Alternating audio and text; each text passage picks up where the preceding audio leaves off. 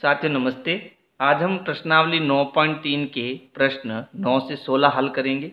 तो हमारा प्रश्न 9 है, समांतर चतुर्भुज ABCD की एक भुजा AB को एक बिंदु P तक बढ़ाया गया। यानी हमारे पास एक समांतर चतुर्भुज ए बी सी डी है, जिसमें ये जो भुजा ए बी है, इसको हमने P तक आगे बढ़ाया। यानी B से P तक इसको और खींचा।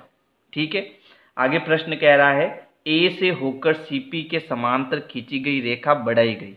अब हमने क्या करा? ए से एक रेखा खींची इस प्रकार नीचे की ओर, जो इस सीपी के समांतर है। इस सीपी के समांतर हमने एक रेखा खींची, जो ए से होकर गुजर रही है और इस सीपी के समांतर है। ठीक है? सीबी को क्यू पर मिलती है और ये जो सीबी है, ये जो हमने रेखा खींची, ये सीबी को कहाँ मिल रही है? क्यू पर मिल रही है। और फिर समांतर चतुर्भुज पी बी क्यू आर को पूरा किया गया। और जब ये लाइन हमने खींची तो इससे हमें क्या मिला? एक समांतर चतुर्भुज पी बी क्यू आर मिला। ठीक है, यानी ये भी एक समांतर चतुर्भुज है और ए बी सी डी भी हमारा एक समांतर चतुर्भुज है। दर्शाइए कि area of A B C D बराबर है area of P B Q R यानी इस समांतर चतुर्भुज का जो क्षेत्रफल है वो इस समांतर चतुर्भुज के क्षेत्रफल के बराबर है, ये हमें सिद्ध करना है। तो इसके लिए सबसे पहले हम क्या करेंगे, एक रचना करेंगे। हम क्या करेंगे, इस समांतर चतुर्भुज का विकर्ण ए सी खींचेंगे और इस समांतर चतुर्भुज का विकर्ण क्या खींचेंगे? क्यू पी खींचेंगे। ठीक है, ये हमने क्या करा? विकर्ण खींचे। तो रचना में लिखेंगे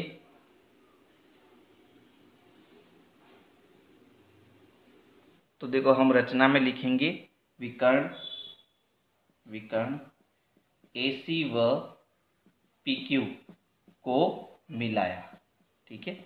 हमने क्या करा? जो हमें प्रश्न के अंदर ये चित्र दिया था, हमने ए सी और पी क्यू को मिलाया। इससे हुआ क्या? तो इससे ये हुआ कि हमने एक नियम पढ़ा था कि जब दो समांतर रेखाएँ हमारे पास हो, देखो यहाँ पर सी पी और ए क्यू ये हमें प्रश्न में समांतर रेखाएँ दी हुई। और इस पर हमें दो त्रिभुज बने हुए मिल रहे हैं ना?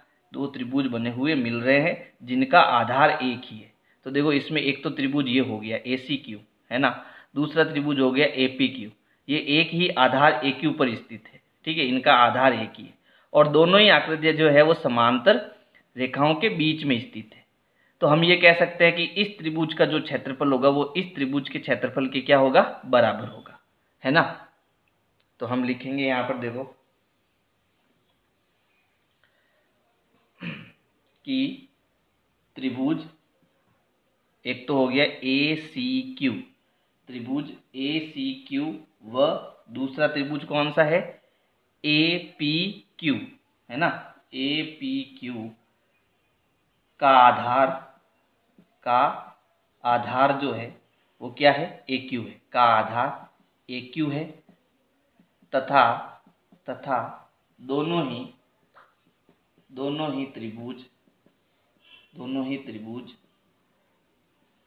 समांतर समांतर रेखा, एक तो आपके सीपी है ना? सीपी व ए क्यू सीपी व ए क्यू पर स्थित है।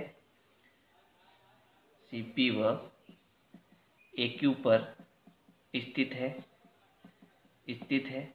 अतः अतः हम ये लिख सकते हैं कि जो त्रिभुज एसीपी का जो क्षेत्रफल होगा ए सी क्यू का जो क्षेत्रफल होगा एरिया ऑफ़ त्रिभुज ए सी क्यू का जो क्षेत्रफल है, वो area of A P Q के क्षेत्रफल के क्या है? बराबर है। Area of A P Q के क्षेत्रफल के बराबर होगा। ये हम नियम जानते हैं, है ना?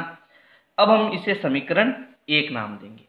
हमें कौन सा क्षेत्रफल चाहिए? हमें ये वाला क्षेत्रफल चाहिए, ठीक है? इस समांतर चतुर्भुज का ये जो त्रिभुज है, ये क्षेत्रफल चाहिए और इस समांतर चतुर्भुज के जो ये त्रिभुज है, इसका क्षेत्रफल मुझे चाहिए। तो यहाँ पर एक्स्ट्रा कौन सा आ रहा है? इसको मैं ये जो त्रिभुज है ए बी क्यू ये त्रिभुज, इन दोनों ही त्रिभुजों में क्या आ रहा है? एक्स्ट्रा आ रहा है। तो हम क्या करेंगे? समीकरण एक में से इस त्रिभुज को हटा देंगे, घटा देंगे। ठीक है? तो इससे होगा क्या? देखो, समीकरण एक में से में से त्रिभुज, है ना, इसका क्षेत्रफल घटाना है। तो हम यहाँ लिखेंगे area of area of A B Q त्रिभुज ए बी क्यू घटाने पर घटाने पर। तो इसको घटाने से क्या होगा? देखो, बराबर के इस साइड में क्या है? Area of A C Q है। इसमें से हमें क्या घटाना है? त्रिभुज ए बी क्यू घटाना है। एरिया ऑफ़ त्रिभुज ए बी क्यू घटाना है। फिर बराबर के इस साइड में क्या है? Area of A P Q इसमें से भी क्या घटाना है? ए बी क्यू घटाना है. Area of A B Q त्रिभुज जो है वो घटाना है. तो जैसे ही इन दोनों त्रिभुजों में से ये त्रिभुज हट जाएगा तो हमारे पास इस साइड में ये वाला त्रिभुज बचेगा ए बी सी है ना? Area of triangle A B C बचेगा बराबर. इस साइड में क्या बचेगा? पी बी क्यू त्रिभुज का क्षेत्रफल बचेगा. Area of P B Q जो है इसका क्षेत्रफल हमारे पास बचेगा। ठीक है? अब देखो, ये जो त्रिभुज ए बी सी का जो क्षेत्रफल है, वो किसका आधा है?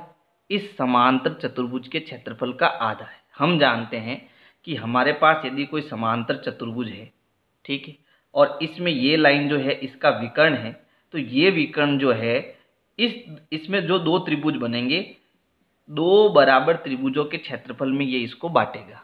ठीक है? कौन? समांतर चतुर्भुज का विकर्ण। तो इसका मतलब ये हुआ कि ये समांतर चतुर्भुज का जो क्षेत्रफल होगा, वो इस त्रिभुज के क्षेत्रफल से क्या होगा? आधे के बराबर होगा। ठीक है? हमें बराबर करना है तो समांतर चतुर्भुज समांतर चतुर्भुज के क्षेत्रफल के आधे के बराबर होगा। तो यहाँ हम लिख सकते हैं। क्या लिख सकते हैं, देखो? अब ठीक से समझना इसको। इसको मैं समीकरण दो लिख देता हूँ, है ना? समीकरण दो। अब हम जानते हैं कि त्रिभुज ए बी सी का जो क्षेत्रफल है area of triangle A B C का जो क्षेत्रफल है, वो इस समांतर चतुर्भुज के क्षेत्रफल के आधे के क्या होगा? बराबर होगा, है ना? यानी ये इस समांतर चतुर्भुज का जो क्षेत्रफल है वो त्रिभुज के क्षेत्रफल के आधे के क्या होगा? बराबर होगा। ये हम जानते हैं। तो ये हो गया एक बटा दो एरिया ऑफ़ समांतर चतुर्भुज ए बी सी डी है ना? हमें आधा का गुणा किसमें करना है? ए बी सी डी में करना है। क्योंकि इसको हमें क्या करना है? बराबर करना है। है ना? तो ये हो गया हमारा समीकरण नंबर तीन। इसी प्रकार देखो, यहाँ भी एक समांतर चतुर्भुज है है ना? और ये इसका क्या है? विकर्ण। तो यहाँ भी ये नियम लागू होगा।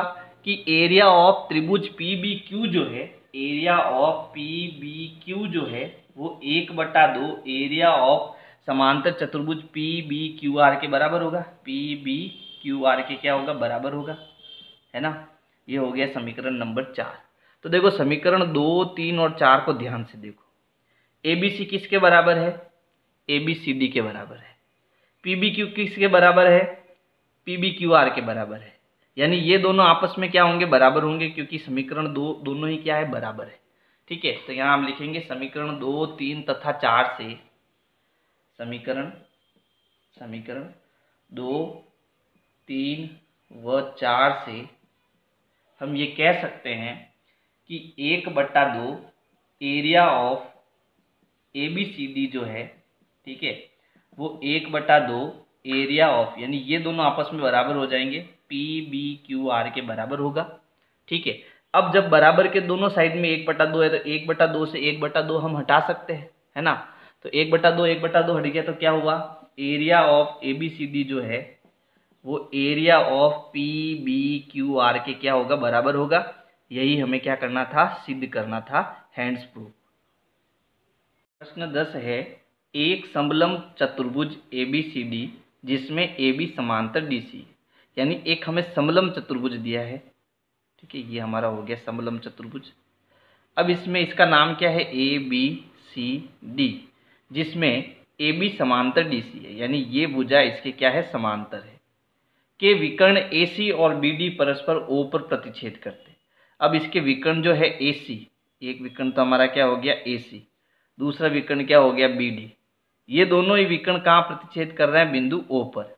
दर्शाइए कि area of A O D बराबर है area of B O C अब हमें ये ए ओ डी जो एरिया यानी इस त्रिभुज का जो क्षेत्रफल है, वो इस त्रिभुज के क्षेत्रफल के बराबर है, ये हमें सिद्ध करना है। तो देखो, बहुत ही आसान है। हमने एक नियम पढ़ा था कि भाई दो समांतर रेखाओं के बीच में यदि दो त्रिभुज इस प्रकार स्थित है कि इनका आधार, एक तो त्रिभुज ये वाला, दूसरा त्रिभुज ये वाला, इनका आधार एक ही हो और दोनों त्रिभुज समांतर रेखाओं के बीच में स्थित हो तो इस त्रिभुज का जो क्षेत्रफल है, वो इस त्रिभुज के क्षेत्रफल के क्या होगा? बराबर होगा। ठीक है, ये हमारा नियम हम जानते हैं। तो सबसे पहले हम लिखेंगे त्रिभुज, यहाँ जो त्रिभुज है ए डी बी त्रिभुज ए डी बी व दूसरा त्रिभुज कौन सा हो गया? ए बी सी त्रिभुज ए बी सी में, ठीक है? इन दोनों का आधार क्या है? ए बी है। दोनों का आधार ए बी है। में आधार आधार क्या है? ए बी है। ए बी है तथा दोनों ही त्रिभुज, दोनों ही त्रिभुज त्रिभुज, समांतर रेखा समांतर रेखा एक तो ए बी ए बी व डी सी के बीच स्थित है, के बीच स्थित है। अतः अतः हम कह सकते हैं, क्या कह सकते हैं? कि area of A D B जो है ए डी बी जो है, वो area of A B C के बराबर है ए बी सी के बराबर है। ठीक है? लेकिन हमें क्या सिद्ध करना है? हमें तो केवल इतना सा त्रिभुज ही चाहिए। पूरा त्रिभुज नहीं चाहिए, ठीक है? तो हम क्या करेंगे? इस पूरे त्रिभुज में से ये वाला त्रिभुज जो है घटा देंगे, है ना? ये जो त्रिभुज है वो घटा देंगे। कौन सा? ए ओ बी दोनों में से ए ओ बी त्रिभुज घटा देंगे। तो यहाँ हम लिखेंगे, दोनों पक्षों में, दोनों पक्षों से, दोनों पक्षों से area of A O B घटाने पर, घटाने तो पहले बराबर के इस तरफ़ जो त्रिभुज है area of A D B ठीक है, इसमें से मुझे क्या घटाना है? Area of A O B घटाना है। फिर बराबर के इस साइड में जो त्रिभुज है area of A B C है ना? इसमें से भी मुझे क्या घटाना है? Area of A O B घटाना है। तो जब मैं इनको घटाऊँगा तो ये त्रिभुज हमारा हट जाएगा, यानी ये त्रिभुज इसमें से निकल जाएगा, है ना? और ये त्रिभुज जब निकल जाएगा तो कौन सा त्रिभुज बचेगा? ए ओ डी बचेगा। तो यहाँ पर घटाने पर बचेगा area of A O D बराबर। इसमें से, इस पूरे बड़े में से ये वाला त्रिभुज जब घटाएँगे तो हमारे पास कौन सा बचेगा? B O C area of B O C बचेगा। और यही हमें क्या करना था? सिद्ध करना था। ठीक है? तो बस इतना ही इसका उत्तर है। प्रश्न ग्यारह है, आकृति में ए बी सी डी ई एक पंचभुज है। यानी ये ए बी सी डी ई जो है वो एक पंचभुज है। पंचभुज क्या होता है? जिसमें पाँच भुजाएँ हो। तो ये इस प्रकार की आकृति हमें यहाँ पर देखने को मिल रही है। बी से होकर ए सी के समांतर खींची गई रेखा बढ़ाई गई। डी सी को एफ़ पर मिलती है है ना? यहाँ से बी से हमने एक रेखा खींची जो इस ए सी के समांतर है और डी सी को आगे बढ़ाने पर ये कहाँ मिलती है? एफ़ पर। ठीक है तो इस प्रकार की एक आकृति बनेगी यहाँ पर। दर्शाइए कि area of A C B हमें ये बताना है कि ए सी बी का जो क्षेत्रफल है, यानी ये पूरा जो त्रिभुज है है ना? ए सी बी इसका जो क्षेत्रफल है, वो ए सी एफ़ के क्षेत्रफल के बराबर है। ए सी एफ़ इस त्रिभुज के क्षेत्रफल के बराबर है। पहले तो ये सिद्ध करना है। तो चलो, पहले हम यही सिद्ध कर लेते हैं, ठीक है? तो यहाँ पर देखो, जो हमारा एक समांतर चतुर्भुज बन रहा है कि भाई बी एफ़ और ए सी ये दोनों समांतर रेखाएँ ऐसा हमें प्रश्न में दिया हुआ है, ठीक है? तो यहाँ पर देखो यहाँ पर ये दोनों अगर समांतर रेखाएँ, है ना? तो यहाँ से एक त्रिभुज जो बन रहा है, ये वाला त्रिभुज। इसका क्षेत्रफल और इधर से जो त्रिभुज बन रहा है, इसका क्षेत्रफल। यानी इन दोनों त्रिभुजों का जो क्षेत्रफल है, ठीक है, वो आपस में बराबर होगा क्योंकि इनका आधार एक ही है और दोनों समांतर रेखाओं के बीच में स्थित है। तो पहले हम लिखेंगे कि त्रिभुज ए सी बी व त्रिभुज ए सी एफ़ का जो आधार है, का आधार, दोनों का आधार क्या है? ये ए सी दोनों त्रिभुजों का आधार क्या है? ए सी दोनों में ए सी है। देखो, इसमें भी ए सी है, इसमें भी ए सी है तो दोनों का आधार क्या है? ए सी ठीक है? तथा दोनों ही त्रिभुज, दोनों ही त्रिभुज, दोनों ही त्रिभुज समांतर रेखाओं, समांतर रेखा, एक तो ए सी और बी एफ़ के बीच स्थित है। ए सी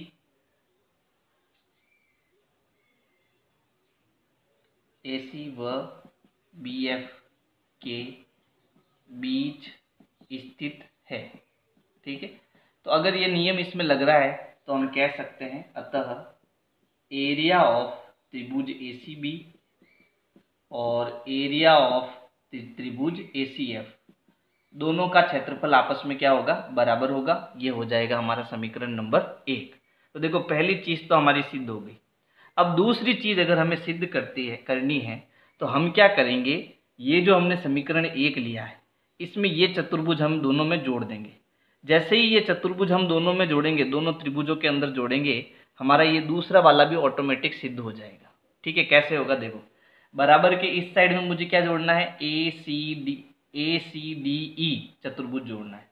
तो इसमें लिखेंगे area of A C B में मुझे क्या जोड़ना है? Area of A C D E A C D E ठीक है? बराबर.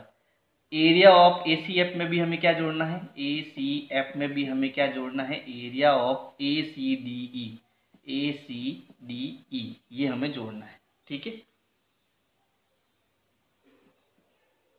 चलो. तो देखो, इन दोनों को जोड़ने पर हमें क्या मिलता है? एक तो हमने क्या जोड़ा? ए सी बी ए सी बी ये वाला त्रिभुज जोड़ा, ठीक है? ये वाला त्रिभुज जोड़ा, एक हमने ये जोड़ा। तो दोनों को जोड़ने पर हमें क्या मिला? A B C D E area of A C A B sorry A B C D E ये पूरा क्षेत्रफल हमें मिल गया, ठीक है? और ए C F A C F यानी ये वाला त्रिभुज इसको हटा देते हैं।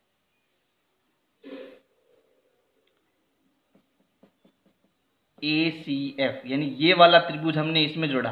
तो हमको क्या मिल गया? हमको मिल गया ए एफ़ डी ई का क्षेत्रफल। ए एफ़ डी ई का क्षेत्रफल। तो यहाँ लिखेंगे area of A F D E का क्षेत्रफल हमको मिल गया, है ना? या फिर इसको ए ई डी एफ़ भी लिख सकते हैं। ए ई डी एफ़ भी लिख सकते ये लिख देते क्योंकि हमें ये सिद्ध करना है। तो ए ई डी एफ़ कर दो इसको। ठीक रहेगा। चलो। तो देखो, ये दूसरा भी हमारा ऑटोमेटिक सिद्ध हो गया, है ना? यहाँ आप लिख सकते हो, दोनों पक्षों में या फिर समीकरण एक के दोनों तरफ़ area of A C D E जोड़ने पर। ये लाइन आप चाहो तो यहाँ लिख सकते हो, है ना? तो हमने देखो ये दूसरी चीज़ सीधी कर दी। अब ये बराबर के इस साइड में मैंने यहाँ यहाँ आया और ये वाला इस साइड में आया तो उससे कोई फ़र्क नहीं पड़ेगा। बराबर के दोनों साइड में हमें ये दोनों चीज़ें मिल रही है। इसका मतलब ये प्रश्न हमारा सही है, इसको हमने सही से हल करा है। प्रश्न बारह है, एक गाँव के एक निवासी इतवारी के पास एक चतुर्भुजाकार भूखंड है। यानी ये एबीसीडी जो है वो मान लो इतवारी का एक चतुर्भुजाकार क्या है, भूखंड है, उसके पास में है ये।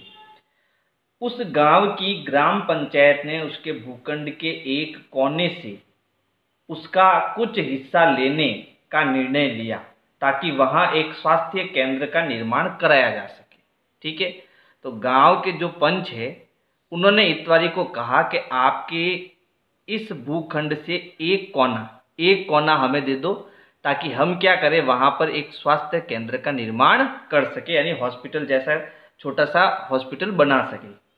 फिर आगे प्रश्न कह रहा है, इतवारी के इस प्रस्ताव को इस प्रतिबंध के साथ स्वीकार कर लेता है कि इसे इस भाग के बदले उसी भूखंड के संलग्न एक भाग ऐसा दिया जाए कि उसका भूखंड त्रिभुजाकार हो जाए। स्पष्ट कीजिए कि इस प्रस्ताव को किस प्रकार क्रियान्वित किया जा सकता है। ठीक है? तो उन्होंने कहा, भाई, आप इतवारी ने कहा कि अगर आपको ये कोना चाहिए इस हिस्से का, ठीक है? तो मेरी एक शर्त है, शर्त ये है कि आप ये कोना ले लो, इसकी जगह मुझे इसका एक, जो ये खेत है ना, इतने ही क्षेत्रफल का, इसी भूखंड के क्षेत्रफल का, है ना? मुझे त्रिभुजाकार भूखंड दे दो। है ना? यानी चतुर्भुज के भूखंड को हमें त्रिभुज के भूखंड में बदलना है और इसका क्षेत्रफल उस त्रिभुज के क्षेत्रफल के क्या होना चाहिए? बराबर होना चाहिए। तो देखो, इस प्रश्न को कैसे करना है? पहले तो माना माना, इतवारी के पास, इतवारी के पास A B C D A B C D भूखंड है, भूखंड ठीक है? यहाँ पर चतुर्भुज लिख देना। चतुर्भुज ए बी सी डी एक भूखंड है। अब इसमें हम क्या करेंगे? एक रचना करेंगे। क्योंकि रचना क्यों करनी है? क्योंकि हमें यहाँ कॉर्नर से एक भाग जो है हॉस्पिटल बनाने के लिए पंच को देना है। है ना? तो हम क्या करेंगे? पहले तो ए सी को मिलाएँगे। रचना क्या करेंगे? ए सी ए व सी को मिलाया। ए व सी को मिलाया। ये हमारी पहली रचना हो गई। ठीक है? इसके बाद हमें क्या करना है? इस ए सी के समांतर बिंदु डी से एक हमें लाइन खींचनी है, एक रेखाखंड खींचना है। तो ये जो है, ये डी से जो हमने रेखा खींची, वो किसके समांतर है? ए सी के समांतर है। इसको मान लो, मैंने नाम दे दिया ई ठीक है? तो यहाँ आगे लिखेंगे, मिलाया तथा तथा ए सी समांतर डी ई खींचा, ठीक है? हमने बाद में क्या किया? सी के समांतर ये डी ई खींचा। अब हम ई e और ए को मिलाएँगे। किसको मिलाएँगे? ई e और ए को मिलाया। फिर हमने क्या करा? ई e व ए को मिलाया। और हम क्या कर सकते हैं इसमें? और हम क्या करते हैं? ई और सी को भी मिला देते हैं, ठीक है? ई व सी को भी मिलाया। ठीक है? तो ये हमने रचना करी। अब इसको हमें सॉल्व कैसे करना है? इसको हमें सिद्ध करना है कि ये जो चतुर्भुज का हिस्सा है, वो त्रिभुज के हिस्से के बराबर होना चाहिए, है ना? चलो इसको हम सिद्ध करते हैं या आगे सॉल्व करते हैं। तो अब हम क्या करेंगे? देखो, यहाँ पर जो हमने चतुर्भुज बनाया है, इसमें ये ए जो है, वो इस त्रिभुज का आधार भी है। देखो, एक तो त्रिभुज ये वाला हो गया, ये वाला त्रिभुज हो गया, ठीक है? दूसरा हमारे पास इसी आधार से एक त्रिभुज और बन रहा है, ये वाला। ठीक है, ये वाला त्रिभुज भी बन रहा है। एक तो ये त्रिभुज बन रहा है, दूसरा ये वाला त्रिभुज बन रहा है। तो यहाँ पर हम इन दोनों त्रिभुजों का क्षेत्रफल आपस में बराबर कर सकते हैं। किस नियम से? तो नियम हमें पता है कि त्रिभुज, एक तो हमारा हो गया ए सी ई त्रिभुज। ए सी ई व। दूसरा त्रिभुज हो गया ए सी डी ए सी डी का आधार एक ही है। का आधार क्या है? आधार एसी है। एसी है तथा दोनों ही त्रिभुज, दोनों ही त्रिभुज, दोनों ही त्रिभुज। हमने देखो AC और DE को समांतर रेखा माना, है ना? तो दोनों ही त्रिभुज, समांतर रेखा समांतर रेखा। एक तो AC व दूसरी ईडी। ईडी के बीच में स्थित है। के बीच में स्थित है। स्थित है। अतः हम कह सकते हैं कि इस त्रिभुज का जो क्षेत्रफल है, वो इस त्रिभुज के क्षेत्रफल के क्या होगा? बराबर होगा। तो आगे लिखेंगे। अतः area of area of A C D यानी ए सी डी का जो क्षेत्रफल है, वो ए सी ई के क्षेत्रफल के बराबर है। एरिया ऑफ़ ए सी ई के क्षेत्रफल के क्या होगा? बराबर होगा। ये हो जाएगा हमारा समीकरण नंबर एक। ठीक है? अब हमें क्या करना है? ये जो हिस्सा है, कौन सा? ये वाला हिस्सा। ये वाला पूरा हिस्सा। ठीक है? ये हमें हॉस्पिटल के लिए देना है। तो अब हमें क्या करना है? अगर ये पूरा हिस्सा मैं हॉस्पिटल बनाने के लिए देता हूँ तो यहाँ पर देखो एक त्रिभुज बन रहा है। बन रहा है ना ये पूरा त्रिभुज? ये त्रिभुज हमें किसको देना पड़ेगा? इतवारी को देना पड़ेगा। तो हम क्या करेंगे? ये जो इतवारी का भूखंड है ए बी सी डी है ना? ये किससे मिलकर बना है? तो ये दो त्रिभुज से मिलकर बना है। एक ये वाला, दूसरा ये वाला। तो पहले इसको लिख देते हैं कि area of area of A B C D जो है, जो इतवारी का भूखंड है, वो दो त्रिभुज से मिलकर बना है। एक तो ये वाला त्रिभुज, दूसरा ये वाला त्रिभुज, है ना? एक तो कौन सा त्रिभुज हो गया? Area of A B C और दूसरा त्रिभुज हो गया area of A C D है ना? ए सी डी अब देखो, समीकरण एक में हमें ए सी डी किसके बराबर दिया है? ए सी ई के बराबर दिया। हो तो इस ए सी डी की जगह में ए सी ई लिख सकता हूँ, है ना? तो होगा क्या देखो area of A B C D जो है, वो ए बी का ए बी सी का तो ए बी सी ही रहेगा, ठीक है? लेकिन इसकी जगह इसकी जगह मैं क्या लिख सकता हूँ? ए सी ई लिख सकता हूँ, पर प्लस इसकी जगह क्या लिखूँगा? ए सी एरिया ऑफ़ ए सी ई ये मैंने कैसे लिखा? तो बाई वन यानी समीकरण एक से मैंने ये लिख दिया यहाँ पर। चलो अब देखो ए बी सी कौन सा है? ए बी सी ये वाला भाग है, ठीक है? और ए सी ई कौन सा है? तो ए सी ई हमारा ये वाला भाग है, देखो ए सी ई तो अब देखो, ये वाला भाग और ये वाला भाग, ये दोनों भाग मिलकर देखो, एक बड़ा त्रिभुज बना रहे हैं, है ना? तो area of area of A B C D हमें क्या मिलेगा? एरिया ऑफ़ इन दोनों को जब हम जोड़ेंगे तो हमें ई बी सी मिल जाएगा। Area of triangle E B C मिल जाएगा। यानी जो हमारा प्रश्न था कि हमने क्या करना है, ये वाला कॉर्नर इधर वाला कॉर्नर जो है हॉस्पिटल के लिए देना है। ठीक है? ये वाला कॉर्नर हॉस्पिटल के लिए देना है। तो ये जो चतुर्भुज का भूखंड है ए बी सी डी इसकी जगह, इसी के क्षेत्रफल के बराबर हमें एक त्रिभुज का टुकड़ा देना पड़ेगा। और त्रिभुज का टुकड़ा जो है वो कौन सा है? ई बी सी है। ई बी सी है ना? यानी ये वाला भूखंड हमें इतवारी को देना पड़ेगा। तो इस प्रकार से जो है आपको ये प्रश्न बारह करना है। प्रश्न तेरह है ए बी सी डी एक समलम चतुर्भुज है। यानी हमें चित्र बनाना है एक समलम चतुर्भुज ए बी सी डी का। ठीक है? यह हो गया ए बी सी और डी जिसमें ए बी समांतर डी सी है। इसमें यह भुजा ए बी जो है वो डी सी के समांतर हमें दी हुई है। ए सी के समांतर एक रेखा ए बी को एक्स पर और बी सी को वाई पर प्रतिच्छेद करती है। ठीक है, अब हमें क्या करना है इस ए सी के समांतर। तो यहाँ पर मैं ए सी बना देता हूँ विकर्ण। इसके समांतर हमें एक ऐसी रेखा खींचनी है कि वो ए बी पर तो बिंदु एक्स हो और बी सी पर वो बिंदु वाई हो। लेकिन एक्स और वाई को मिलाने पर ये जो रेखा बनेगी, वो इस ए सी के क्या होगी? समांतर होगी। सिद्ध कीजिए कि area of A D X अब हमें सिद्ध करना है कि ए डी और एक्स का जो क्षेत्रफल है, इस त्रिभुज का जो क्षेत्रफल है, वो area of A C Y area of A C Y यानी ए सी वाई इस त्रिभुज के क्षेत्रफल के बराबर है। ठीक है? ये जो त्रिभुज है, वो इस त्रिभुज के क्षेत्रफल के बराबर है, ये हमें सिद्ध करना है। आगे संकेत है सी एक्स को मिलाइए। तो हम क्या करेंगे? सी और एक्स को मिलाएँगे। तो इसको जो हमें है डॉट लाइन से मिला देता हूँ। तो देखो, बहुत ही सरल प्रश्न है। इसमें हमने एक रचना करी है। रचना क्या करी? हमने रचना में सी और एक्स को मिलाया। सी व एक्स को मिलाया। ये हमने इसमें रचना करी। ठीक है? चलो अब इसको सिद्ध करते हैं। सीधा इसको क्या करेंगे? सिद्ध करेंगे।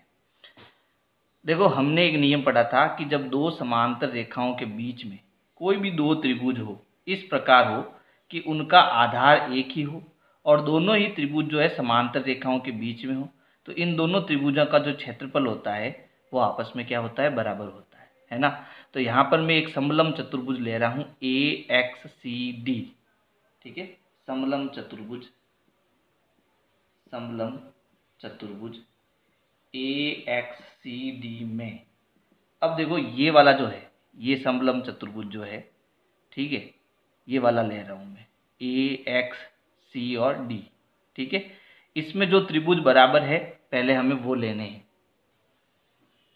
त्रिभुज एक तो ले रहा हूँ ए डी एक्स है ना? त्रिभुज ए डी एक्स व दूसरा त्रिभुज में ले रहा हूँ ए सी एक्स ये वाला त्रिभुज, ठीक है? ए सी एक्स वह त्रिभुज ए सी एक्स का जो आधार है है ना? दोनों दोनों का आधार देखो। दोनों का आधार क्या है? ए एक्स का आधार क्या है? ए एक्स तथा दोनों ही त्रिभुज, दोनों ही त्रिभुज, समांतर रेखा समांतर रेखा। ए एक्स व डीसी के बीच में ए एक्स व डीसी के बीच में ठीक है? बीच में है। अब आप कहोगे, सर ए एक्स तो हमें समांतर रेखा दी ही नहीं ए एक्स लेकिन देखो, हमें प्रश्न में ए बी और डी सी समांतर दे रखी। ए बी और डी सी तो अगर ए बी डी सी के समांतर है तो ए एक्स तो जो है वो ए बी का ही एक छोटा भाग है। इसका मतलब ये भी इसके क्या होगी? समांतर होगी। तो इसका मतलब ये दोनों जो त्रिभुज है, इनका क्षेत्रफल जो है वो आपस में बराबर होगा। यानी अब मैं कह सकता हूँ, अतः अतः एरिया ऑफ़ त्रिभुज A D X A D X बराबर होगा। एरिया ऑफ़ त्रिभुज ए सी एक्स के। ए सी एक्स इसे मैं समीकरण एक नाम देता हूँ। देखो, हमें सिद्ध क्या करना, हमें सिद्ध करना है कि area of A D X जो है, वो area of A C Y के बराबर है। अब देखो ए सी वाई कहाँ है? ए सी वाई जो है, वो ये वाला त्रिभुज है। ठीक है? ये वाला त्रिभुज। अब हमें ये वाला त्रिभुज जो है, वो इस त्रिभुज के बराबर करना है। तो इसको हम कैसे करेंगे? तो देखो, हमने प्रश्न के अंदर दो समांतर रेखाएँ और ली थी। कौन सी? ये जो सी एक्स है sorry X C X Y है, ठीक है, वो इस ए सी के क्या है? समांतर है। तो अब ये दोनों जो है, आपस में रेखाएँ जब समांतर है तो यहाँ पर एक समलम चतुर्भुज और बन रहा है, देखो। बन रहा है? कौन सा चतुर्भुज बन रहा है यहाँ पर समलम चतुर्भुज? ये वाला। देखो, ध्यान से समझना इसको। ये है यहाँ पर एक्स वाई और ये है ए सी ठीक है? इसके अंदर भी दो त्रिभुज बन रहे हैं। कौन से बन रहे हैं देखो? एक तो ये वाला बन रहा है ए वाई सी एक तो बन रहा है ए वाई सी एक ये त्रिभुज बन रहा है और दूसरा इसके अंदर त्रिभुज बन रहा है। देखो, ये हमने डॉट लाइन से यहाँ पर एक्स और सी को मिलाया था, है ना? तो ए सी एक्स ए सी एक्स यहाँ पर ये हमने डॉट लाइन से इसको मिलाया था। तो यहाँ पर आधार इनका क्या हो गया? ए सी और इससे दो त्रिभुज बन रहे हैं। एक तो ए सी एक्स और दूसरा आपका क्या हो गया? ए सी वाई ये दो त्रिभुज बन रहे हैं। तो अब मैं ये समलम चतुर्भुज ले रहा हूँ। कौन सा समलम? समलम चतुर्भुज समलम चतुर्भुज ए सी वाई एक्स में ए सी वाई एक्स में। एक तो त्रिभुज में ले रहा हूँ ए सी एक्स है ना? और दूसरा त्रिभुज ले रहा हूँ ए वाई एक्स एक त्रिभुज हो गया ए सी वाई वह दूसरा त्रिभुज कौन सा हो गया इसमें? ए सी एक्स इन दोनों का, है ना? आधार जो है, का आधार। इन दोनों का आधार क्या है? ये ए सी ए सी भुजा, ठीक है? इन दोनों का आधार क्या है? ए सी है। तथा तथा दोनों ही त्रिभुज, दोनों ही त्रिभुज। समांतर रेखा समांतर रेखा। एक तो आपकी हो गई ए सी व दूसरी हो गई एक्स वाई इन दोनों के बीच में स्थित है। एक्स वाई के बीच में स्थित है स्थित है। अतः अतः मैं कह सकता हूँ कि त्रिभुज ए सी एक्स का जो क्षेत्रफल हो जा, होगा, या ए सी वाई यानी area of A C Y जो है, वो area of A C X के क्या होगा? बराबर होगा। ये हो जाएगा हमारा समीकरण नंबर दो, है ना? अब देखो, हमें सिद्ध करना ए डी एक्स जो है, वो ए सी वाई के बराबर है। समीकरण एक में हमें ए डी एक्स मिल गया। समीकरण दो में हमें ए सी वाई मिल गया। अब देखो, एक और दो में ए सी एक्स इसमें भी है और ए सी एक्स इसमें भी है। तो समीकरण एक और दो के प्रयोग से। ये भी ए सी एक्स के बराबर है और ये भी ए सी एक्स के बराबर है। यानी दोनों ही समीकरण आपस में क्या है? बराबर है। तो मैं समीकरण एक और दो से कह सकता हूँ, समीकरण एक व दो से मैं ये कह सकता हूँ कि ये जो क्षेत्रफल है area of A D X ठीक है, वो area of A C Y के क्या है? बराबर है। ठीक है, ये हमारा क्या हो गया? सिद्ध हो गया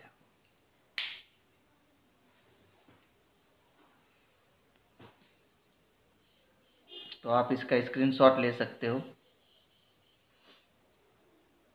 चौदह है, आकृति में ए पी समांतर बी क्यू समांतर सी आर है। यानी एक आकृति दी है, जिसमें ये ए पी जो है बी क्यू के समांतर है बी क्यू जो है, वो सी आर के समांतर है। कहने का मतलब ये तीनों ही रेखाएँ आपस में समांतर है।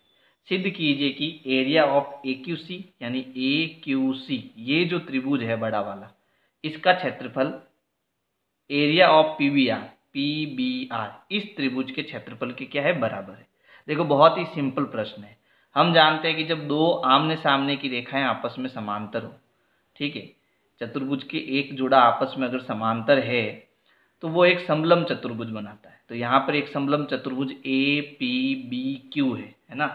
तो यहाँ लिखेंगे समलम्ब चतुर्भुज समलम्ब चतुर्भुज ए पी क्यू बी में ठीक है? इस चतुर्भुज में ए पी और बी क्यू ए पी और बी क्यू आपस में क्या है? समांतर है। ए पी समांतर बी क्यू है। ठीक है? इसके अलावा इसके अलावा अगर मैं दो त्रिभुज लेता हूँ ए बी क्यू और पी बी क्यू तो इन दोनों, ये दोनों ही जो त्रिभुज है, इनके आधार क्या है? कॉमन है। बी क्यू इनका आधार है। ठीक है? तथा आधार आधार बी क्यू है। अतः अतः मैं ये कह सकता हूँ कि area of A B Q A B Q जो है, वो area of P B Q के बराबर है। पी बी क्यू के क्या है? बराबर है। ये हो जाएगा हमारा समीकरण नंबर एक। पी बी क्यू के बराबर है। ये हो गया हमारा समीकरण नंबर एक। ठीक है? यहाँ आप चाहो तो पूरी लाइन लिख सकते हो, जो हमने नियम पढ़ा है कि भाई यहाँ दो त्रिभुज है और दोनों ही त्रिभुजों का आधार एक ही है और दोनों त्रिभुज जो है समांतर रेखाओं के बीच में स्थित है। ठीक है? मैं, मैंने इतना नहीं लिख के सीधा शॉर्टकट में लिख दिया, भाई ए पी और बी क्यू समांतर है और यहाँ आधार जो है बी क्यू को बी क्यू को अगर मैं मानता हूँ तो दोनों का क्षेत्रफल आपस में क्या होगा? बराबर होगा। यही देखो समलम चतुर्भुज दूसरा ले रहा हूँ मैं समलम चतुर्भुज अब नीचे वाला। बी क्यू आर सी है ना? समलम चतुर्भुज बी क्यू आर सी में। बी क्यू जो है वो सी आर के समांतर है। ये देखो, यहाँ दिए रखा है। बी क्यू समांतर सी आर ठीक है?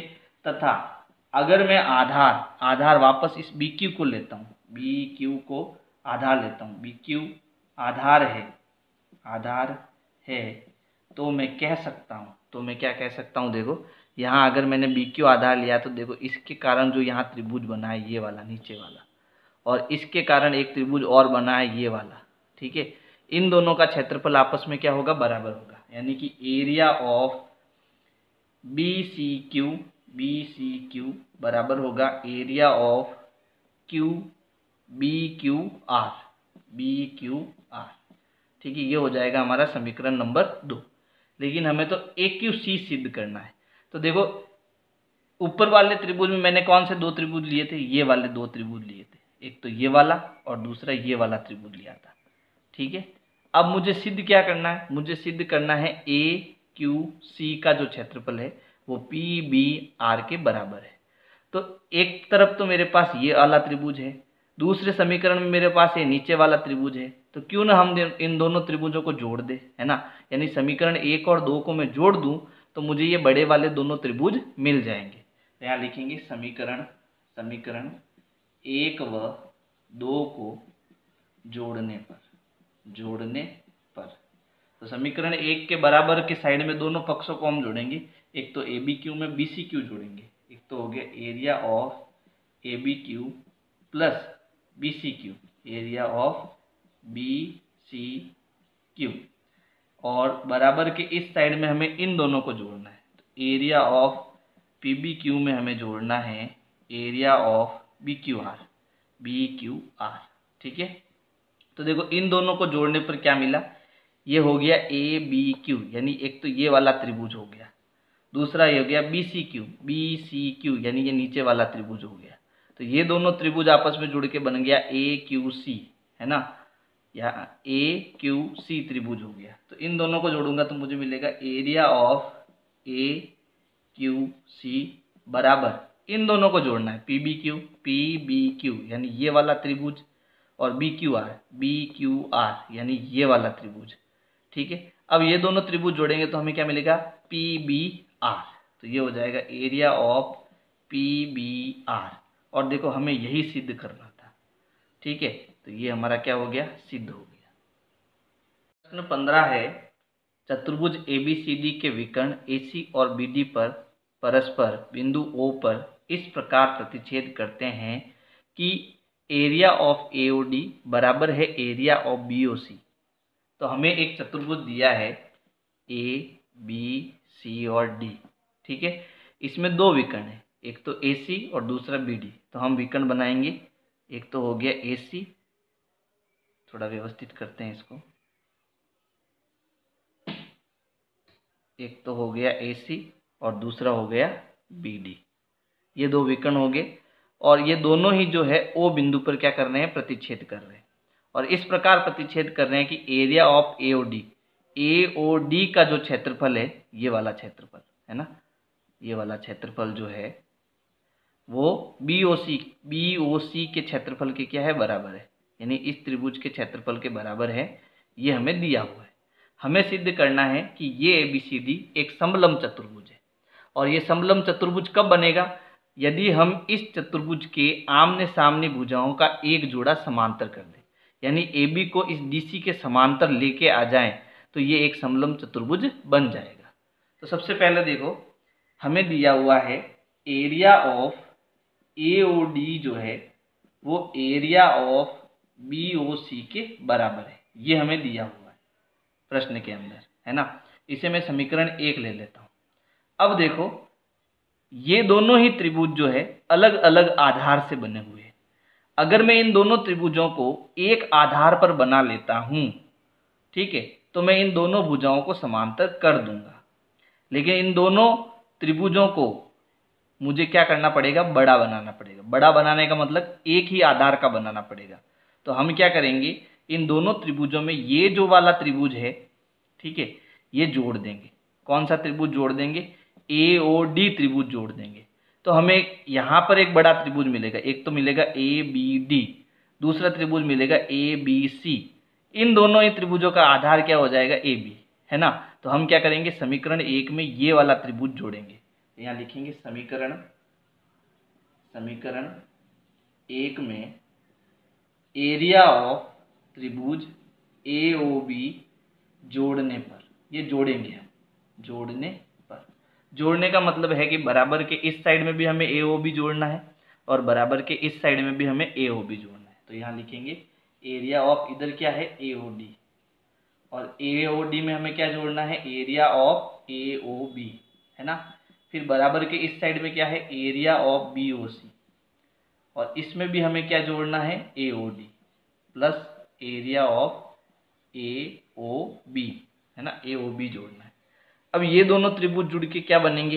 ए ओ डी और ए ओ बी जुड़कर बन जाएँगे ए बी डी तो यहाँ लिखेंगे area of A B D और ये दोनों त्रिभुज बी ओ सी और ए ओ डी जुड़कर क्या हो जाएँगे? A B C area of त्रिभुज ए बी सी अब देखो, इन दोनों त्रिभुजों से हमें क्या मिल रहा है?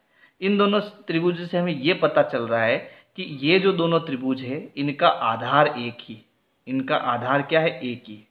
और दोनों का क्षेत्रफल हमने क्या कर दिया? बराबर कर दिया। तो हमने एक नियम पढ़ा था कि जब किसी दो त्रिभुजों के, किसी चतुर्भुज के अंदर दो त्रिभुज ऐसे हो कि उनका आधार एक ही हो, तथा दोनों का क्षेत्रफल भी आपस में बराबर हो तो यहाँ पर ये दोनों भुजाओं पर जहाँ ये त्रिभुज स्थित है, ये दोनों भुजाएँ आपस में क्या होगी? समांतर होगी। तो जब ये दोनों भुजाएँ समांतर हो जाएगी तो ये हमारा क्या बन जाएगा? एक समलम चतुर्भुज बन जाएगा। तो यहाँ लिखेंगे, यहाँ यहाँ त्रिभुज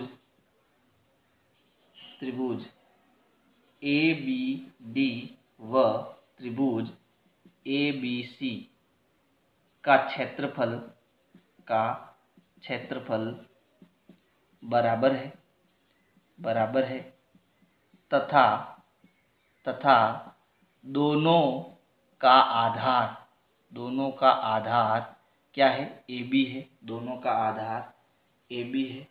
अतः अतः दोनों त्रिभुज दोनों त्रिभुज दोनों त्रिभुज समांतर रेखा समांतर रेखा ए बी व डी सी पर डी सी पर स्थित होंगे स्थित होंगे।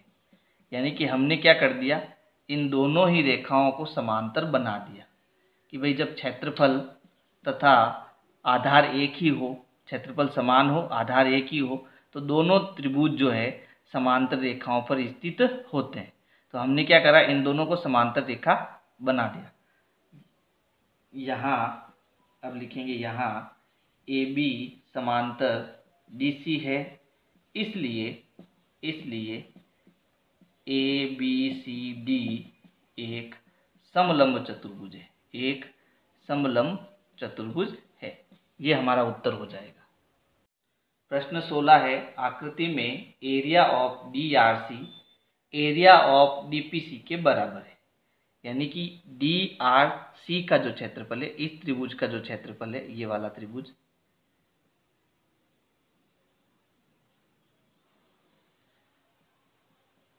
ये जो त्रिभुज है, ठीक है, इस त्रिभुज का क्षेत्रफल D P C D P C यानी ये वाला क्षेत्रफल, ठीक है, अंदर ये वाला, इस त्रिभुज के क्षेत्रफल के क्या है? बराबर है, ये हमें दिया हुआ है।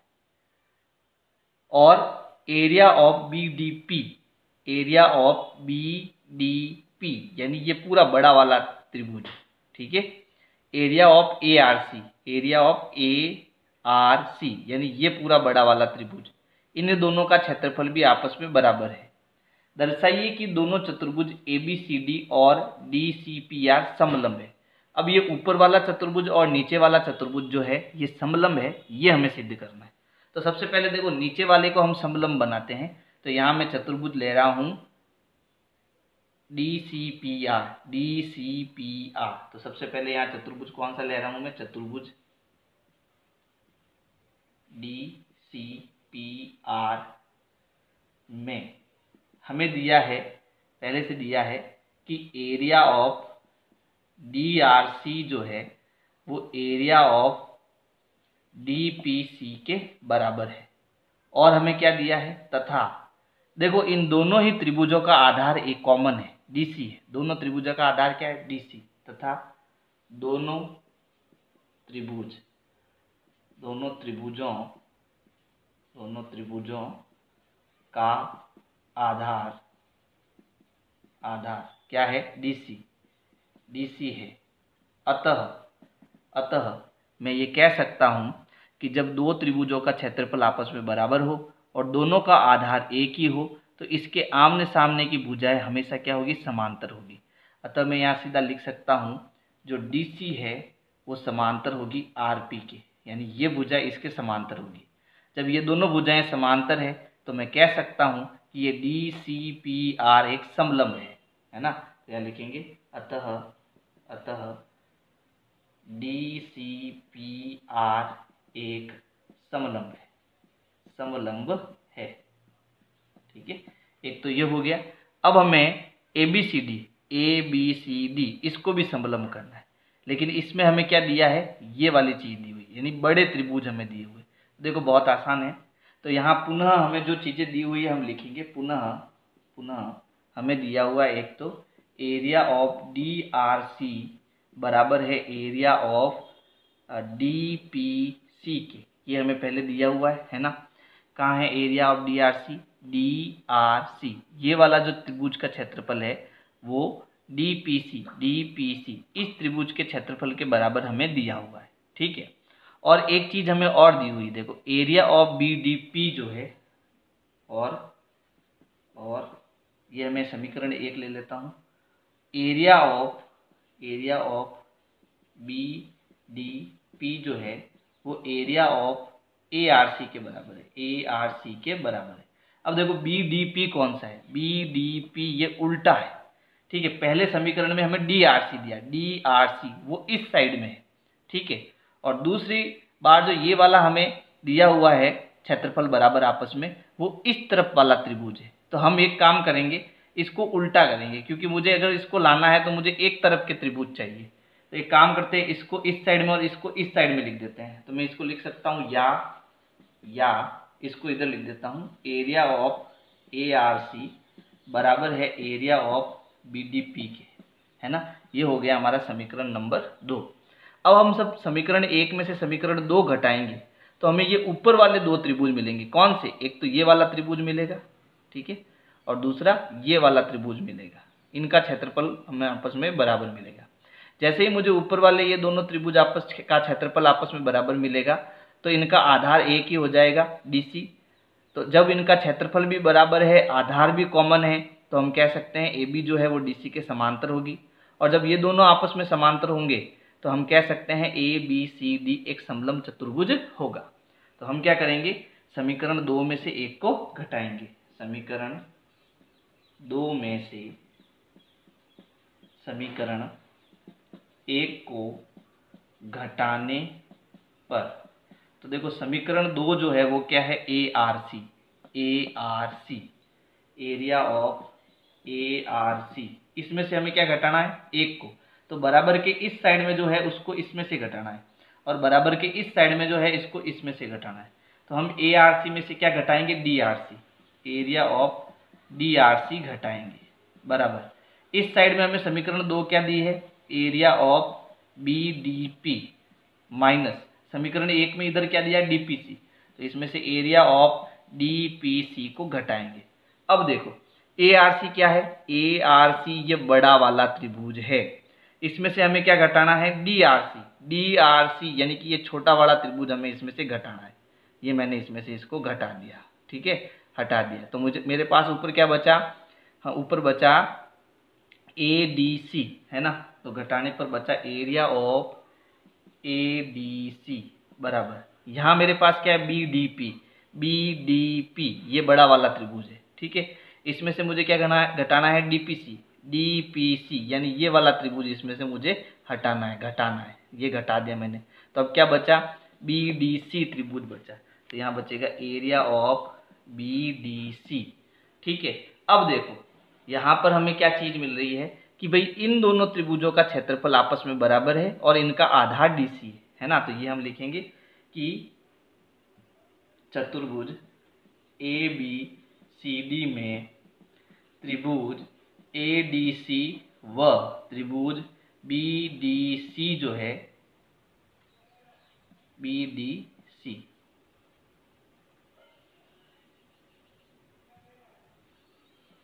सी का क्षेत्रफल का क्षेत्रफल, यहाँ देखो, बराबर है, क्षेत्रफल बराबर है, तथा दोनों का दोनों का आधार, दोनों का आधार एक ही है, और वो क्या है डीसी दोनों का आधार डीसी है। अतः हम कह सकते हैं कि ए बी जो है, वो डीसी के समांतर होगी और जब ए बी और डी सी समांतर है तो हम ये भी कह सकते हैं ए बी सी डी एक समलंब, सफल समलंब चतुर्भुज है। ठीक है? यही हमें सिद्ध करना था। तो अगर मेरी वीडियो आपको पसंद आ रही है तो वीडियो को लाइक करो, अपने दोस्तों को शेयर करो। धन्यवाद। विनय क्लासेज की प्लेलिस्ट के लिए आपको यूट्यूब के सर्च में जाना है। ऊपर लिखना है विनय क्लासेज और सर्च करना है। इसमें आपको मेरा चैनल दिखाई देगा। चैनल में आपको जाना है। इसके बाद में यहाँ पर देखो होम वीडियोज़ और प्लेलिस्ट का ऑप्शन है। तो इस प्रकार से आप मेरी प्लेलिस्ट पा सकते हैं।